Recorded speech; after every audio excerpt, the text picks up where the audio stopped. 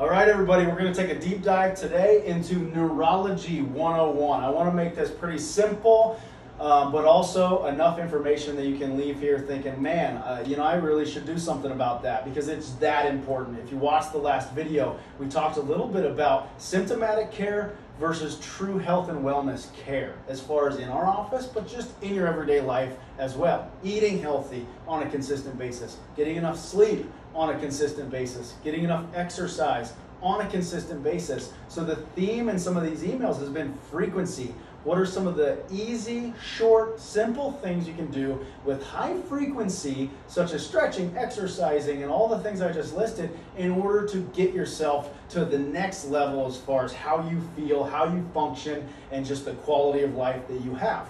Now, neurology is underlying a lot of those things. How we feel. We talked about reaching a threshold. When we reach a threshold of some sort of input that's coming in that's causing uh, our system to go haywire, we have a symptom start. So that is literally probably the worst way you can actually know how you're doing is by what symptoms you have. As most of you have experienced yourselves or know other people who have had any sort of disease processes, conditions, um, COVID even fits into this. Into this is a lot of people are asymptomatic until either a it gets extreme and it's a later stage of something, or in our world, in the musculoskeletal nervous system world, um, you know, you wake up one morning and your hands numb, or you have a kink in your neck, and a lot of times those are accumulation of stressors over a long period of time that finally reach that threshold, and why you call someone like myself. So, real briefly, we're going to cover the three types of stress again. In our world, an easy way to remember it is the three T's, okay? So, that is going to be trauma, okay? Trauma. That's going to be like your physical trauma, is most of what we're talking about there. So, that can be uh, a slip, a fall, an injury. It can also just be poor posture at a desk all day. It can result in traumas uh, on a micro level that add up over time. Okay, number two are going to be thoughts. That's an easy way to say for the three T's. Now, thoughts encompass basically your emotional or psychological well being.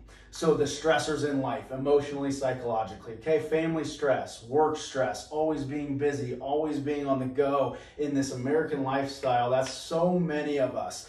That accumulates a ton of stress in that level. So there's number two. Number three is one that maybe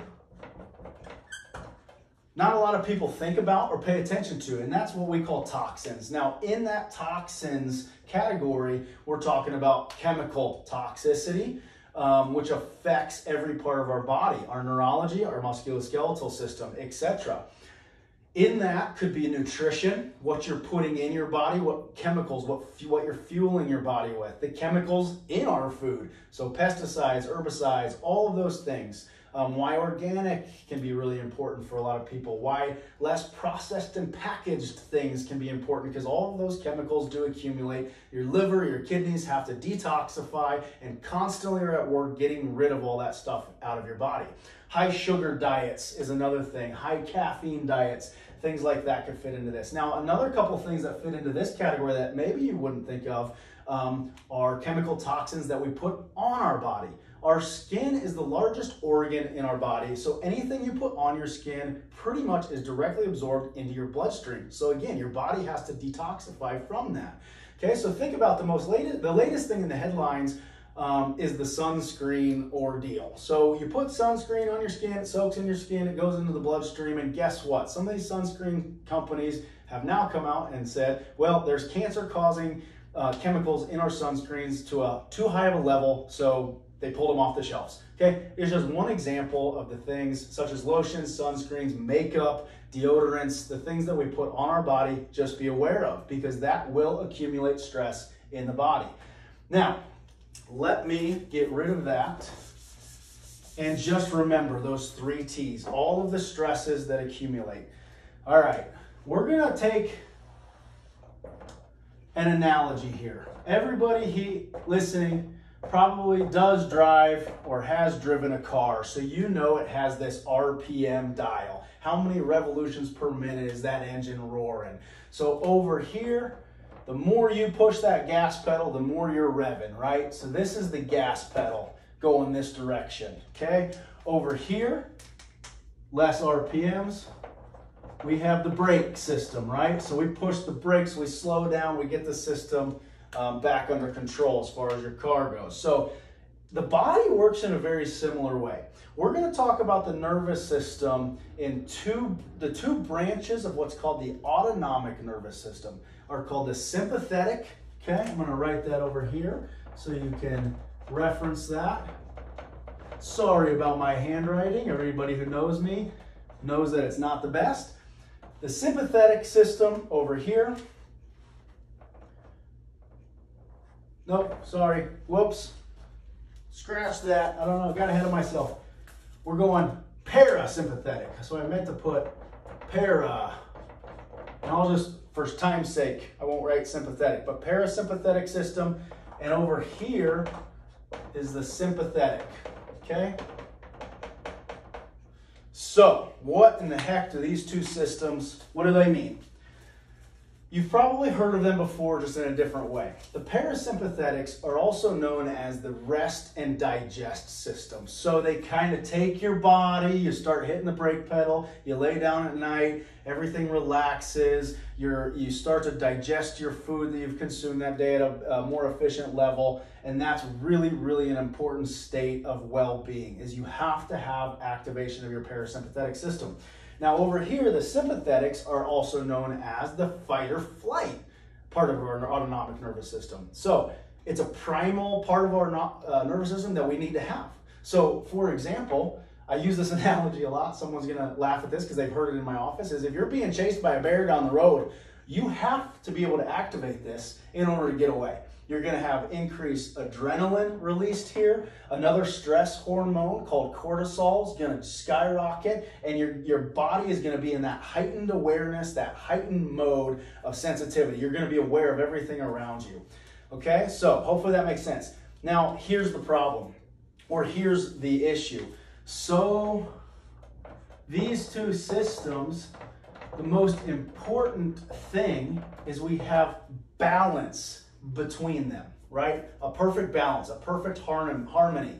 Your body and your nervous system know when you need to be in this state. You know when you need to be in this state, and there's a constant flux between the two. That is when we're working uh, optimally and we have good health and wellness. Okay? Now, the problem in our culture, sadly, is so many of us, and just think about this for yourself, or maybe someone in your family, your kids, your spouse, your mom, dad, whoever it is so many of us have this gas pedal hit all day, every day, that we literally have this shift into this sympathetic mode almost constantly.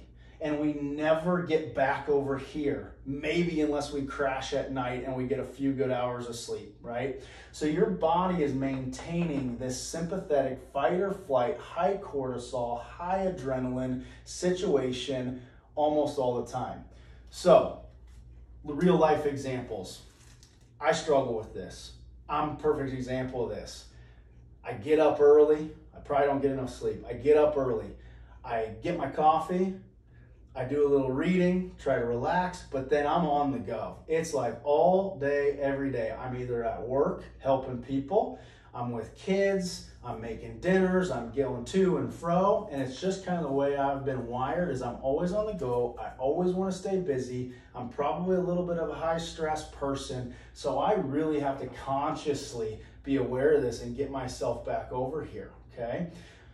The consequences of this are more than you might think. So one, I'm going to write down a few things over here that happen when you're constantly in sympathetic mode. One of those is you're going to have, and this is science. All right, I know that's kind of the buzzword uh, over the last year is let's follow the science, and and I agree, science is awesome and technology is awesome, and a lot of these things I'm writing on here, all these things, it's science. Okay, so this is this is what we know. Sympathetic overload basically de- decreases your immunity.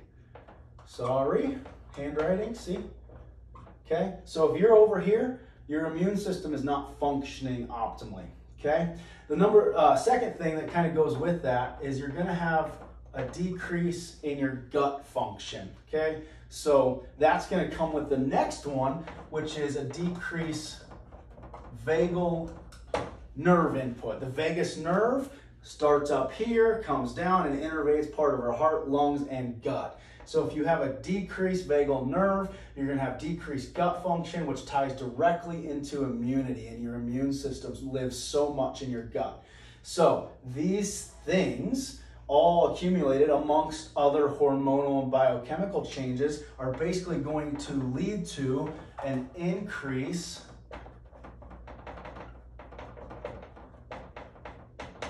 If you can't see that, it says increase in susceptibility. Susceptibility to what? Well, again, you can go right to this and say, okay, do you get sick often? Do you get sick and you just can't kick it for days on end? Your immune system's not working. Do you have gut issues that are chronic? Uh, irritable bowel syndrome and gas and bloating and uh, constipation, diarrhea, those kind of things. You can't express that well. You're probably living over in this world.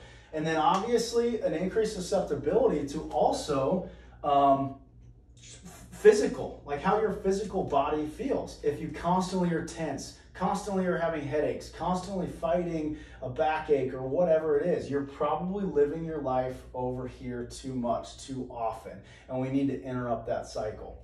All right, so for time's sake, what we could draw right down here on the parasympathetic side is essentially the opposite of this. The parasympathetics increase your immune system response. They increase your gut activity and your expression. Okay, they increase, it increases the vagal nerve tone, which is really vital into functioning properly. And overall, this system uh, is a natural anti-inflammatory effect. So take all of those things, apply them to your life. What are you struggling with right now? Is it the physical traumas? Is it the emotional traumas and stress? Is it the chemical? And quite honestly, most of us have a little bit or a lot of bit of all of those.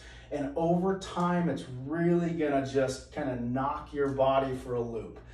Now, I'm gonna go into this in a future video. But the phrase that I love that I heard from, I think, Dr. Josh Axe or Dr. Dan Sullivan or one of those guys that's a mentor of mine is technology is the language of today.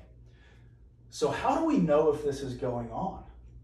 I can't really just palpate your spine and feel tightness, and we all have knots and things, and I need to adjust that vertebrae. You can't just palpate or watch someone move and know what's going on deeper down underneath the surface, okay? So that's where technology comes into play. We're going to start implementing at, at my clinic with every patient when the transition of uh, Thrive moving in. Um, scanning technology that I'm super excited about. Okay, every one of you is going to have the chance to have this done, and it's going to be amazing. It's going to, it's going to be really cool for you to see.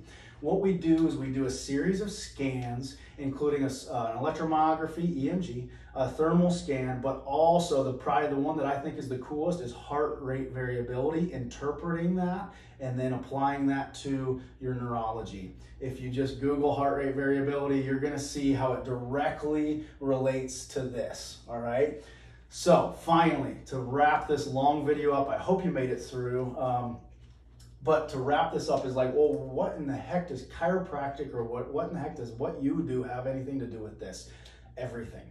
Everything. Now, there's obviously a lot of things that that directly affect this. Like I said earlier, sleep, nutrition, you know, how many medications you're on, what kind of other chemicals are happening. All of those things do accumulate or help uh, go one way or the other. But what chiropractic has been shown to do is when you adjust the spine, specifically in the upper cervical and down in the low back, sacrum, pelvis area, you stimulate the parasympathetic nervous system and the vagus nerve, or can do that anyway. So if we constantly stimulate this, we're gonna take this gas pedal and move it right down, okay? Now, like I said in the last video, a lot of times that's about frequency. How often are we giving you this input? Okay, it needs to be frequent, and there's just no other way about it. So, this is where uh, care planning and uh, giving you good objective data that you can see that shows you where you're at. We know how long it's usually how long it's going to take to get you where you need to go. Okay, and what we're going to do that's quite different than what you've known Synergy as is we still accept health insurance and all that jazz. Um, but we're going to make care much, much, much more affordable. Care for this, care for you being well and healthy. And it's going to be um, affordable, even if you have to have a heightened frequency. So, coming in more visits, um, which is just a reality of what most of us need. So, I hope this caught your ear and caught your eye. If you have any questions, shoot me a DM, shoot me an email, scott at synergylincoln.com. Uh, don't hesitate to call the office here, and I would be happy to talk to you about this, set up a consultation. This is important stuff. If you can't see, I'm pretty passionate about this um, because I know it works. I know what we're here for. It's our calling is to help you be healthier and well. All right, and um, I'm excited to make this pivot in my practice um, just for the better to help all of you guys. All right. So please give us a call, shoot me an email. Stay tuned for future videos because they're going to kind of follow up with this into some deeper dives um, on some other things. So have a great day. Be well.